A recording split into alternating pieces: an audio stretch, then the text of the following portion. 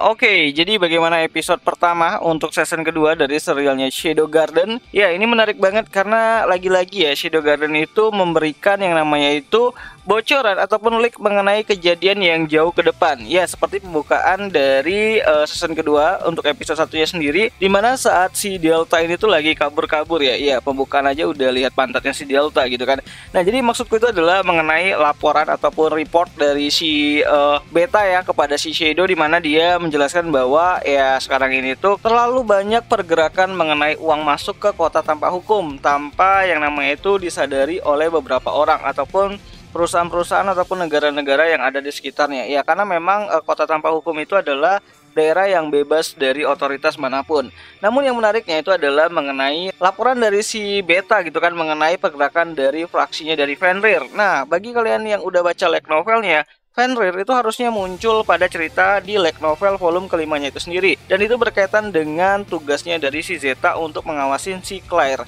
Ya, lagi-lagi uh, si Dogarden ini tuh maju lebih jauh ya mengenai apa yang bakalan mereka ceritakan. Ya, apakah mungkin bakalan ada season 3, season 4-nya? Menarik nih untuk kita tunggu. So, secara aspek dari ceritanya sendiri ataupun plotnya sendiri, jujur aku ngerasain kayak cepat banget, bahkan langsung saset-saset, tapi ya itu juga terlihat epic dan juga dibuat ya sedemikian rupa agar padat banget untuk bisa mengadaptasikan satu setengah volume harusnya ya untuk uh, adaptasi season keduanya itu sendiri. Di mana di sini kita dilihatin bagaimana si Claire itu uh, jadi juara dari turnamen Dewa Perang sebelumnya, terus dia dapat hadiah makan malam di uh, resortnya dari si Gama dan diajaklah si Cid ini tuh untuk pergi ke uh, kota tanpa hukum untuk mencari pengalaman. Atau lebih tepatnya itu agar si Cid ini tuh dapat reputasi bagus dan bisa dipromosikan untuk jadi salah satu ya prajurit kesatria di kerajaan Midgard gitu kan. So terlepas dari itu semua kita juga diperlihatkan mengenai beberapa karakter baru yang muncul pada musim kedua kali ini. Seperti Mary ya.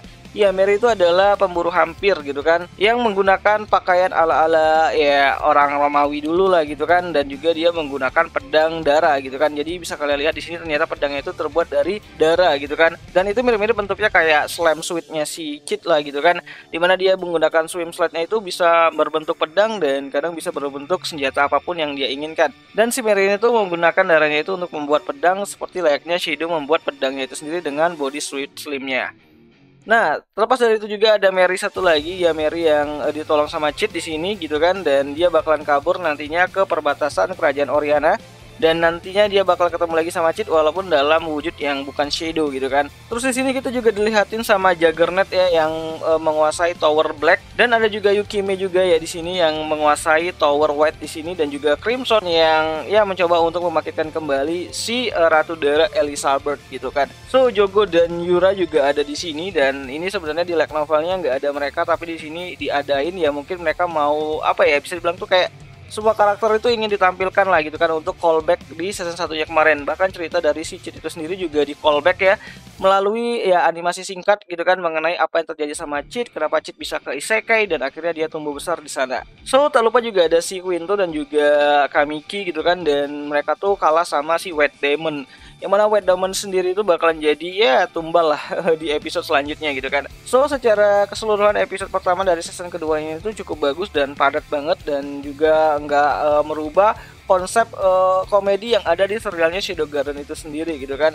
Dan yang paling menarik itu adalah mengenai opening yang ditampilkan di belakang ataupun di akhir episode pertamanya itu sendiri yang mana openingnya sendiri itu banyak banget yang namanya itu spoiler untuk plot cerita ke depannya. Jadi jangan heran kalau nanti ada yang ngebahas mengenai ya, siapa-siapa aja yang muncul di uh, bagian openingnya tersebut. Dan aku bakalan coba juga buat bahas siapa-siapa aja yang muncul di opening tersebut gitu kan. Karena emang menarik banget lah spoilernya. Karena ini emang uh, di mix lah gitu kan cerita original dari light novelnya terus di mix sama story yang ada di in gamenya sama ya beberapa kejadian untuk promosi hal-hal yang bakal terjadi di plot ke depannya gitu kan So bagi kalian yang pengen nonton animenya dari Shadow Garden untuk episode pertama untuk season keduanya itu sendiri Kalian udah bisa lihat ini anime di aplikasi Beastation ya Tapi dengan akses premium tentunya karena memang Shadow Garden di Beastation itu premium akses. Jadi bagi kalian yang pengen nungguin episode keduanya nanti bakal rilis lagi di hari Rabu depan. Jadi jangan lupa lah gitu kan Jangan sampai kalian itu ketinggalan karena rilisnya itu jam 21.30 setengah 10